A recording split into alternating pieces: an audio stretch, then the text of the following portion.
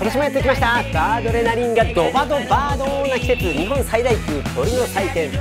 ャパンバードフェスティバル2024 11月2日3日千葉県我孫子市の裏沼浸水広場を中心に開催しています。今年も海外からの出店をはじめ国内のアート作品や鳥のグッズ